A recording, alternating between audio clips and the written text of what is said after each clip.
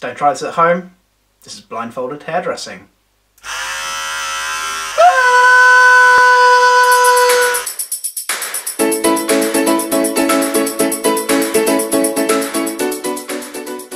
Alright guys, welcome back to another video. Uh, this is one that is not to be tried at home.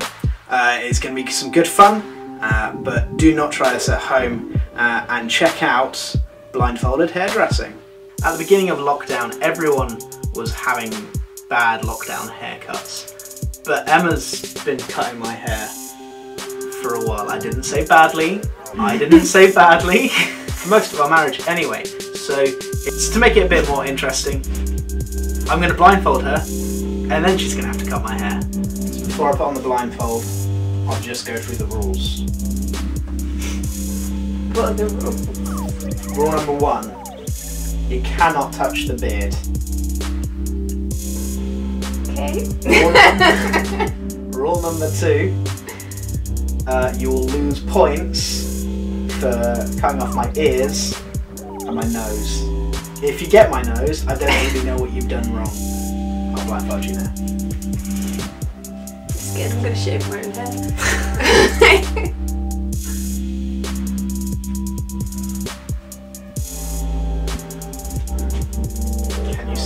no, it hurts a little bit. I feel like my eyebrows are really long. Did you just make a weird noise? Nothing happened whatsoever. That's not funny. Where where even are you?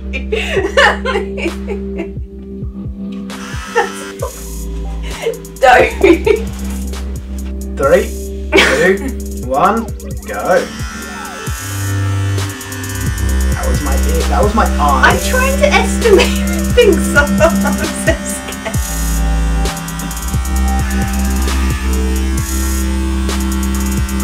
That was nearly my ear.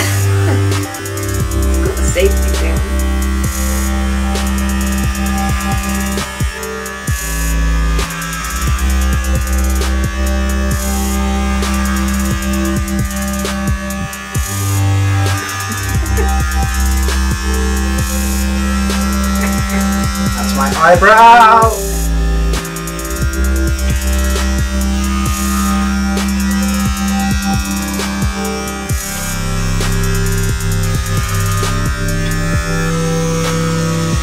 I'm gonna be more disappointed if you do this well. I'm pretty sure I'm not.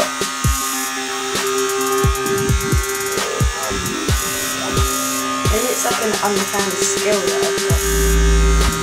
Give us a, a thumbs up if you think she's doing a good job.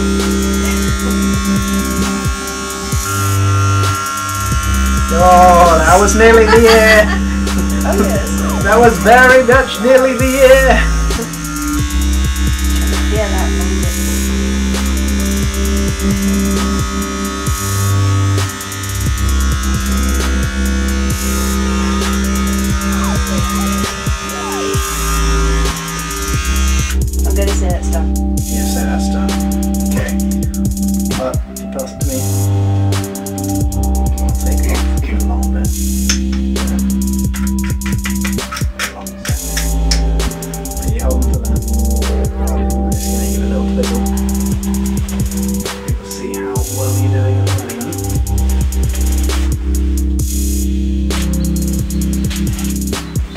Now, the sides and the back while blindfolded. Bearing in mind, it once took three barbers to do the transition from side to top on my hair.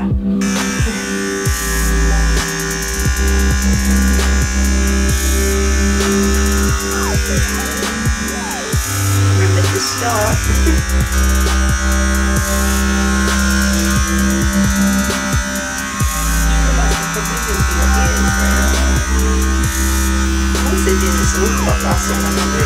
Yeah, I know. It's kind of like maybe I should have done this before.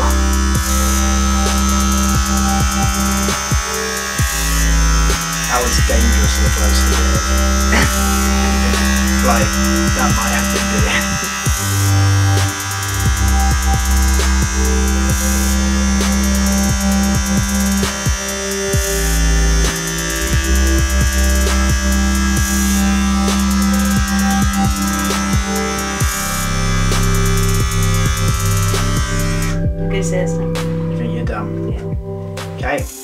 So this is done. This is what it looks like.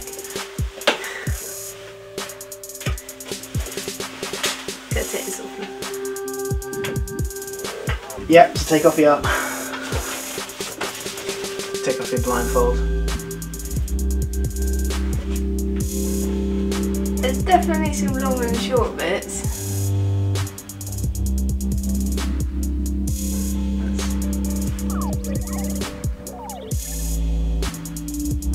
Big old long lit hair.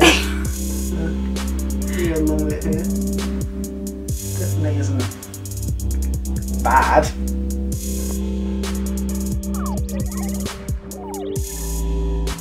So welcome back to another fireside chat with Nick. Still sporting the random patched uh, haircut. I just wanted to talk to you about identity.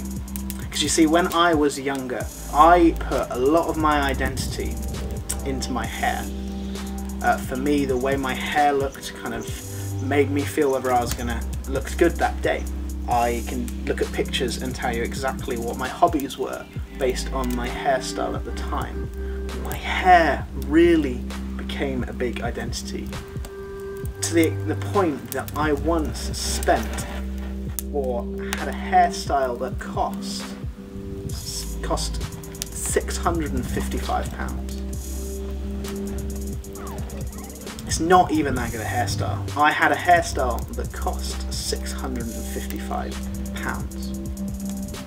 Five pounds of that was on hair dye. 650 pounds of that was on a carpet in a hotel that we also dyed by accident, me and the person dyeing my hair. And I'd actually just started my gap year. So the company that I was working for for that year had to pay, with me paying them back later. To begin with, that was a big thing for me. It was it was a bragging right to be able to say this hair cost 655 pounds. Now by the end of the year, everyone in the school knew me because of this mistake. They were coming up to me at the end of the, the day going, are you the guy who spent 600 over 600 quid on hair?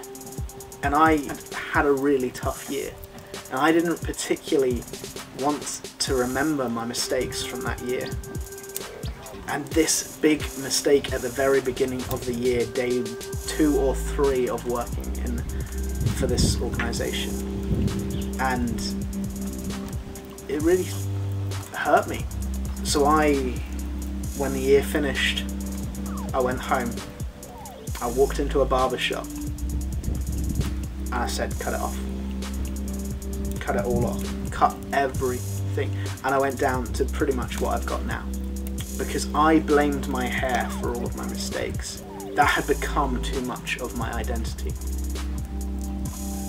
But I can sit here now and talk to you because actually I know that my identity is not rooted in my hair. It's not rooted in the top of my head. It's rooted in Christ. And when I talk, uh, um, when I draw closer to Christ, I find out more about myself. When I learn more about Jesus, I learn more about myself. And I know, without a shadow of a doubt, that He loves me. That He thinks I'm precious. It says in the Bible in Corinthians about being jars of clay. In biblical times, a jar of clay was nothing special. It was a box on a shelf. But Paul in Corinthians writes, God puts his precious jewels in jars of clay. We are the jars of clay, and God has put his treasure in us. And with that, I identify solely on who Christ is to me.